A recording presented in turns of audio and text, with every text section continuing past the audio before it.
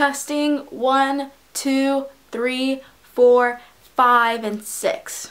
Hey guys, it's me Amanda and today I am filming a what I eat in a day which is really exciting because it's not like I do many of these on this channel anyways. If you guys have never seen me before, my name is Amanda like I just said. I am a vegan.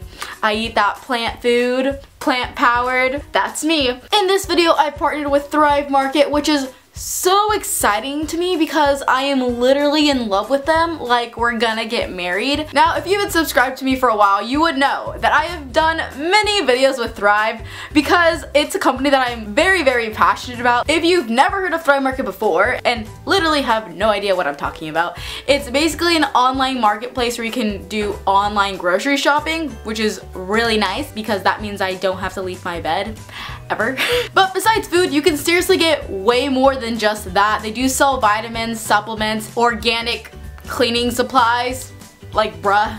The products are also pretty cheap as well because they buy straight from the brands so you do save a lot of money when you do buy from Thrive Market which is a huge huge plus. So what I really love about this online grocery shopping thing is that I can find really cool vegan ingredients that I normally have kind of a hard time finding in normal grocery stores like Trader Joe's or Whole Foods or literally any grocery store. And on top of that I can easily filter things based on like what I'm looking for. So I could like put vegan, raw, gluten-free just by clicking a few buttons. So a huge incentive to starting Thrive is that you do get $20 off your first three purchases if you spend over $49 and if you're like me, you easily do spend over $49 when you go grocery shopping. Like I went grocery shopping today in a normal grocery store because I went with a friend and I spent $80. Uh, could have been 60 if I shopped on Thrive, but I decided to go into a store because I need exercise and I need to leave my house on occasions. So I partnered with Thrive like I said earlier, so a lot of the cool ingredients that I use to make these cool vegan, not really healthy dishes in this video